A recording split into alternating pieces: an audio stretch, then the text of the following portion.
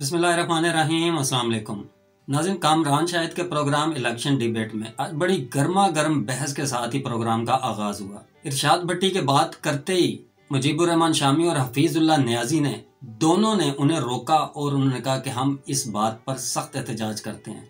इरशाद भट्टी ने आखिर ऐसी कौन सी बात की थी? आए वीडियो देखते हैं, इसके बाद इस पे बात करते हैं। भट्टी साहब, राजा साहब की पार्टी है, मुसद्दिक मलिक साहब की पार्टी है, इनकी पार्टी नहीं है। इलेक्शन ठीक है फिर भी। ठीक जाएगा क्रेडिबल होगा फेयर होगा। देखिए सबसे पहले तो ये इस मुनाफ्त से निकलें कि ये कोई इलेक्शन होने जा रहा है। अच्छा। सिलेक्शन 2024 है। वाह। और फायज ईसा काजी बेंच ने शुक्रिया अदा करें उनका कि उन्होंने जमहूरियत वोट की इज़्ज़त इलेक्शन तरीके इंसाफ और अपनी और अपनी सुप्रीम कोर्ट की साख जो रत्ती भर रह गई थी उसको टेक्निकल नॉकआउट कर दिया। और इत्या तरीन फैसला दिया आ, हमारी सुप्रीम कोर्ट ने। और इस इलेक्शन की रत्ती भर भी क्रेडिबिलिटी नहीं। मुतनाज़ तरीन हालात है।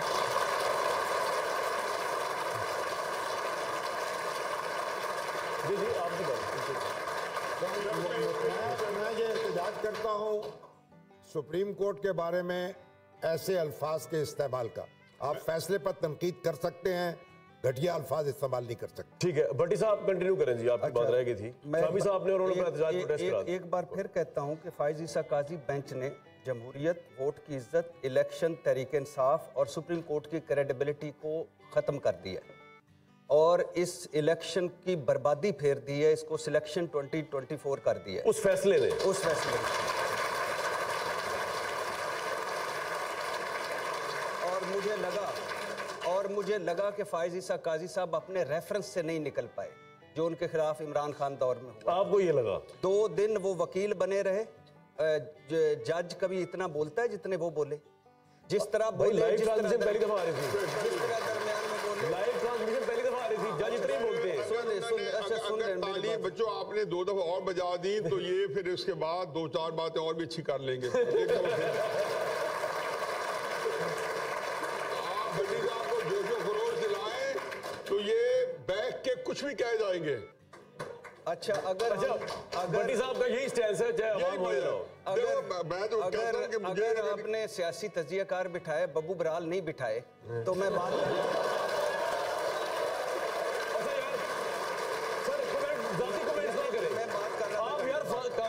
मैं बात कर। फैसले पे बात करें ना भट्टी अच्छा। साहब क्या हो गया अच्छा आपको मुतनाज़ तरीन हालात हैं। हाँ।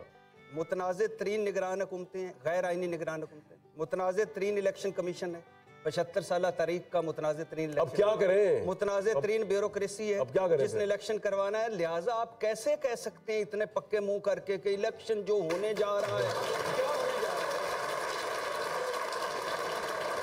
मेरा ख्याल है आपको तो ज़रूरत नहीं रहेगी बोलने की।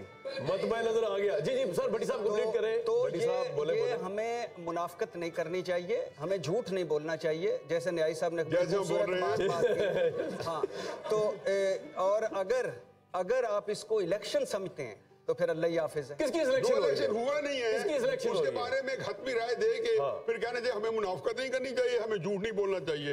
और बच्चों की अच्छी तरबियत करनी चाहिए। अल्लाह ताला हम आपको हमारे मेरा ख्याल है ये हम अच्छा भट्टी साहब हम सिलेक्शन किसकी हो रही है? ये बताएँ। हमसे कम झूठ बोलने वाले हैं हमसे कम मुनाफ्कत करने वाले हैं।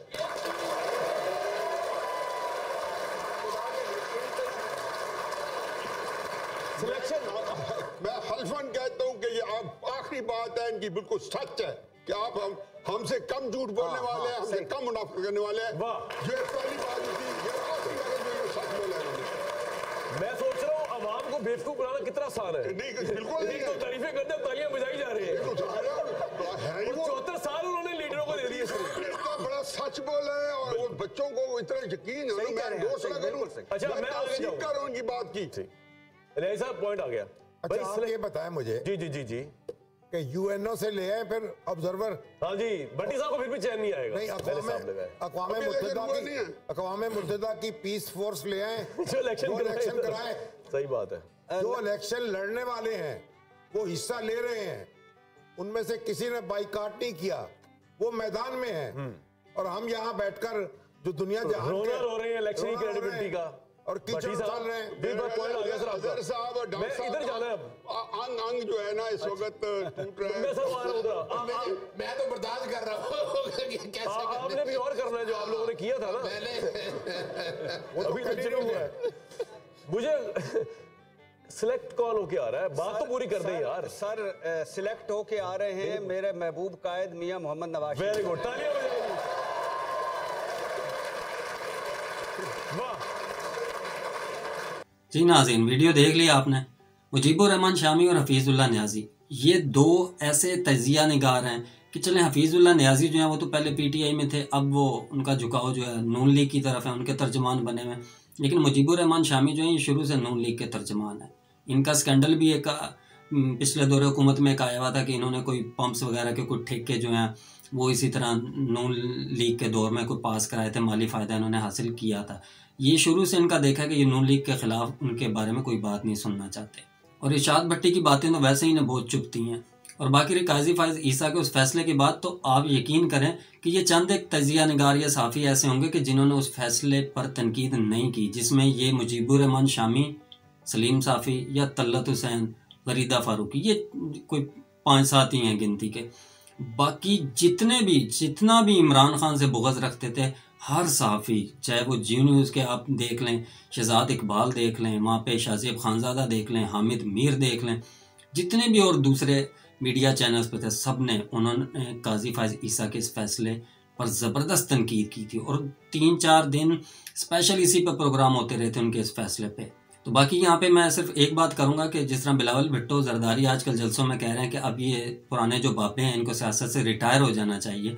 तो मेरा इन पुराने बाबे, ये जो सहाफ़ी हैं, ये जो तजिया निगार हैं, इनको भी यही मशवरा है कि खुदा का वास्ता है, अब आप भी यहाँ से रिटायरमेंट ले लें। ना तो नौजवान आपकी बात सुनना चाहते हैं, ना आपकी बात को कोई पसंद करता है।